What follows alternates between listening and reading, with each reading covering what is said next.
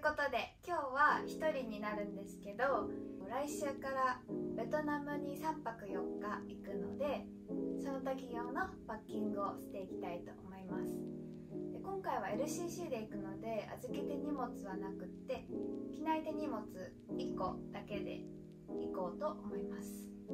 で今回のメインバッグがこのリュックになります。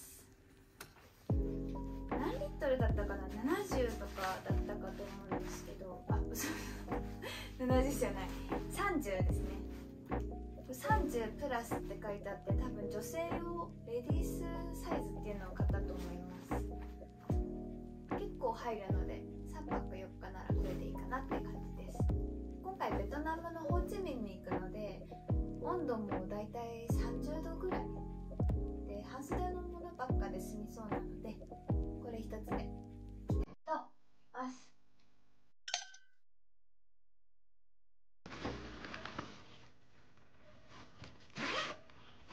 ここにもポケットがついてます。中はこんな感じです。特にあのポケットとかはなくてここポケットのように見えるんですけど特に何も入れられない感じですね。でここが外ポケット。でこことかこっちにもチャックがあります。これ違うかな。こっちか。こっちだけかなはい。で一応この内側にもチャックがあります。あまず早速機内で使う可能性があるものをこの現地でも使う予定のトートバッグに入れていきたいと思います。荷物はこれ一つにするんですけどあの飛行機の中に入ったらこれだけ手元に置いてこれは上に上げるっていうイメージです。まず一番大事なのがこれはベトナムで実際にこう歩いたりする時に使おうと思ってるポーチっていうんだっけポシェ。でやっぱりひったくりとかが多いみたいなのでこういう感じで前につけておけるやつ。この中はまず私よくコーヒーとかこぼすのでウェットティッシュ あと一番大事なパスポート。で今回はお金は日本円を向こうに持って行って両替するかあと一番レートがいいのがあのキャッシングクレジットカードで現地でキャッシングするっていう形になるのでえっとまあお守り用に日本円一応持って行って1万円ですね。えっともしキャッシングができなかったらこれを両替するっていうふうにしたいと思っています。でもう必要ないかなとは思うんですけど一応あのコロナのワクチン接種証明書も入ってます。それがこのポーチですね。であと機内でよく書いたりすることがあるので一応ペンここに入ってます。このバッグの中はああとクレジットカードを入れる予定なんですけどまだ23日日本にいるので最後に入れようと思ってます。忘れないように。でクレジットカードは基本的にこの内側のポッケに直接入れようかなって感じです。でまずこれが一つでしょ。で機内で欠かせないのがこれ。ふくらはぎ押し上げサポーター。今まであのメディケットとか結構きつめのやつを履いてたんだけど今回飛行時間がだいたい56時間なのであんまり長いときつくて脱ぎたくなっちゃうんですよね。なので今回ちょっとゆる緩めってレビューに書いてあったこの靴下サプリっていうところのふくらはぎだけ靴下もないのを買いました。であの太ももにもかかってこない。これちょっともしよかったらまた次回も紹介したいと思います。あとフットレスト。最近ずっと台湾に行ってて去年3回台湾行ったんですけど台湾は34時間かな？で着くのであんまりフットレストとかいらなかったんですけど今回は一応これを持って行って前の人のこう席の机机があるところにこうやってで足をこうやってかける感じ。です。効果があるといいんですけど。これもよかったらまたお伝えしたいと思います。今回のフライトが東京夜中の2時に出て現地の朝6時ぐらいに到着するのと帰国便も夜10時ぐらいだったかな。に出発して、えっと、こっちに2時とかに戻ってくるっていう深夜便深夜便の組み合わせなので飛行機の中では多分メイクはしていない状態かと思います。そんな時に助かるのが朝用シートマスク。これサボリーノから出てるやつの小分けのものなんですけど1分で洗顔とスキンケア保湿までできるっていう優れもの。とこれさっき手に持ってたのがアルコールスプレー。ラベンダーの香りがしてリラックスできてあとハンドクリームがクナイプ。これはネロリ。レモン系の香りです。あついでにあとこれだ。これえっとメルビータジャポンのリセットミストって言ってあの顔だけじゃなくて全身ですけど乾燥した時にシュシュシュってできるミストです。これはなんかローズっぽい香りがするのでこれも気に入ってます。続いてこちらのマスクです。でこれは使い捨てじゃなくて何回も使えるもので何だったか竹でできてるのかな？すごい環境にもいいマスクです。ブーディーっていうのかな？っていうブランドのものです。で一応あの取り替え用のマスクを持ってきます。次が今回その夜のフライトなので寝れないと現地着いた時に困っちゃうのでこのバレリアンっていうサプリを持っていきます。これはなんか緊張して寝れないとかあのゆっくり休みたいっていう時に飲むサプリでこれを1袋全部持ってっちゃうと多いので後で小分けにして2粒ぐらい。あ往復一応飲みたいから。4粒持っていこうかなと思います。次がこのアンカーの充電器。これ1万1万ミリアンペアのものです。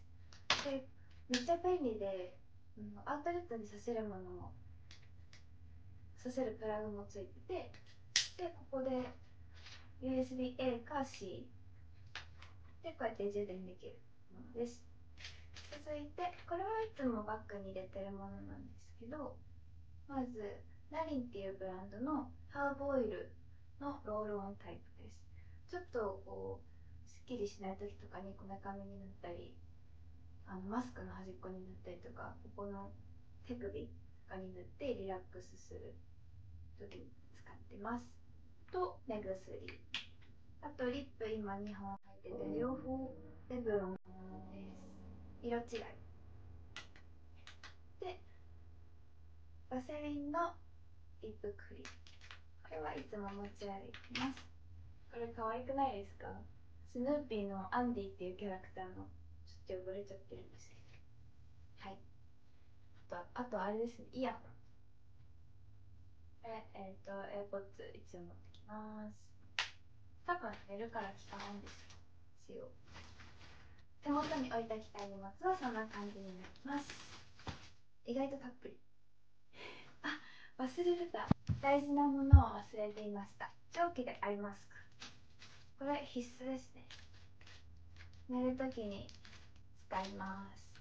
でこれは柚子の香りで普段匂いついてないのを買うんですけどセールになったので柚子を買ったんですよ。そしたら結構いい香りで気に入ってます。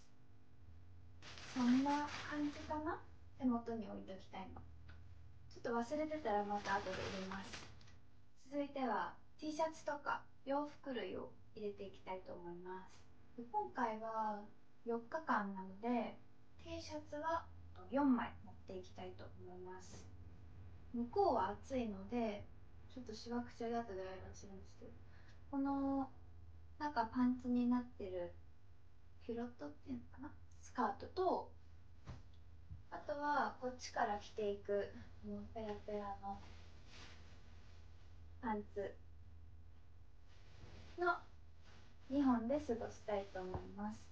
日本を出る時はめちゃめちゃ寒い日なのでえっと下に極暖のスパッツとか履いてこの夏秋用のパンツ履く履くって感じになると思います。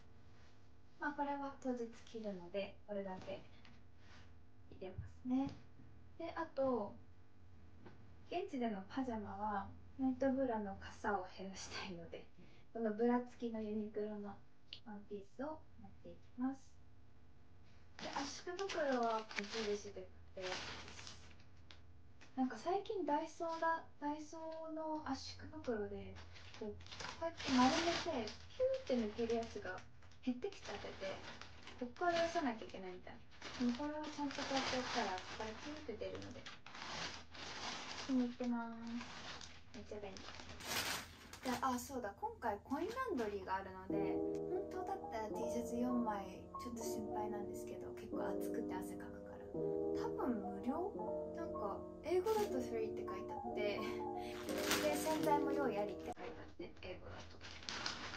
なのでまあ汗かいたら洗濯しようかなって感じで14枚持ってきますえちょっと映さないんですけど下着と靴下あと靴下一足帰ってくる時ですね行きも帰りもスニーカーで行って飛行機の中はスニーカーで現地ではサンダルで過ごそうかなって感じですねであと下着を後で入れますでこれがえっと全部化粧品とかの試供品下地とかあの重たいので普段ファンデーションはあんまり使わないんですけど下地はこのラロッシュポゼのトマトベース。あとこれは日焼け止め乳液化粧下地クリアホワイト。これはまだ使ったことないでこれ。でクレンジングはビオデルマのピンカン肌。青と赤。両方。多分1個で足りると思うんですけど念のため2個。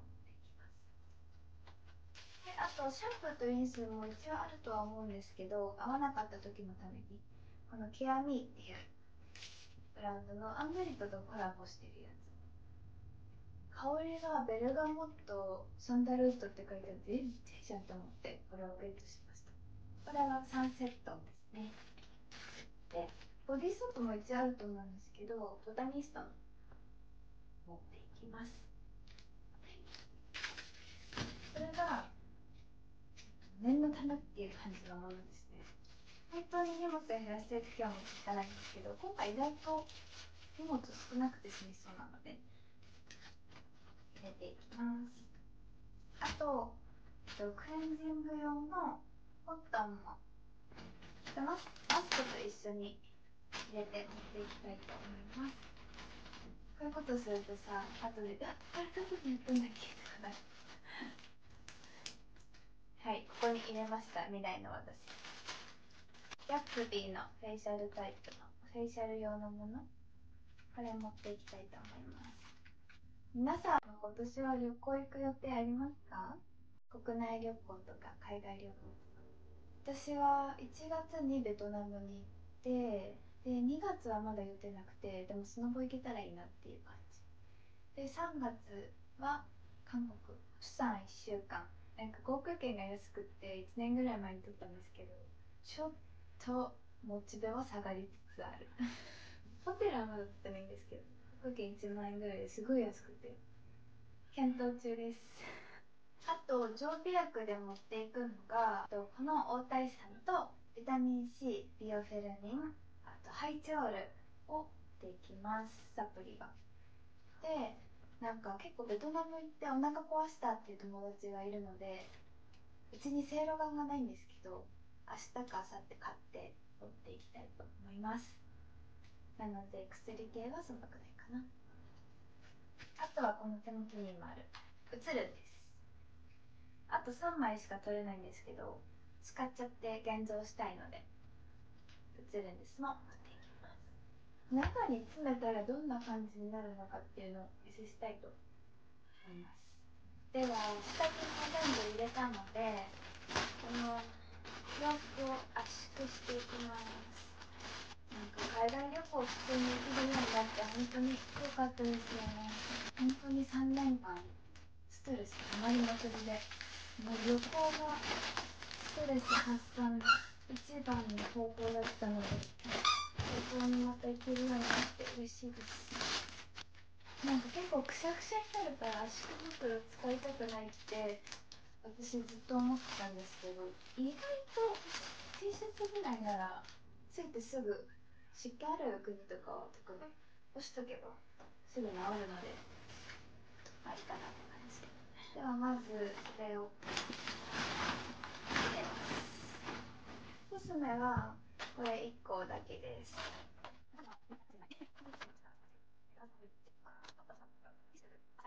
ギ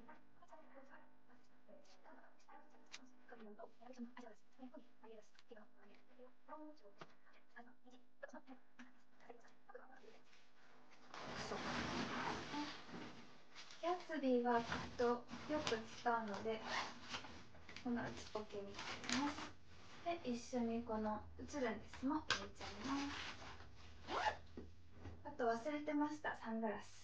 これもこの手前のポッケに入れます続いてこの機内に持ってくシリーズこの手前のところに入るかな入れます。でそうすればこれすぐ飛行機の中に入ったらこうやってやって取り出して手に手元に置いてあげるのでこんな感じにして。そのくらい？本当にもうなんかスカスカよ半分も入ってないか。あとサンダルだ。はいそしてちょっと汚いのであれなんですけどベトナムの現地で履く用のサンダルも持っていきます。ルーフォスの。これマジで歩きやすい。リカバリーサンダルよし。そのくらいですかね。多分忘れてるものもあるのでまた入れるっていう感じになるかもしれないですがちょっと考えてみます。と重要なものを忘れてました。SIM カードを取り出す時のピン。今日入れてないのはせいろがんとあとお水に溶かすお茶の粉と帽子ですかね。でこのリュックは閉めるとどんな感じかっていうのをお見せします。ちなみに機内手荷物そのベトジェット乗るんですけどベトジェットは7キロまでです。で多分これ今5キロぐらいかな。5もないかもしれない閉めるとこんな感じででいつもこの腰のペラペラが邪魔なのでこうやってあ手が届かないかよっこうやって閉めてることが多いです。こんな感じです見えますでしょうか？結構私がショート大きく見える。な大きくない。バックパック。ですここもこうやって前も閉められますでねなんかすごいのがこれかな。なんか服と笛になるって書いてたんですよ。ちょっと口今つけたくないんであれなんですけど。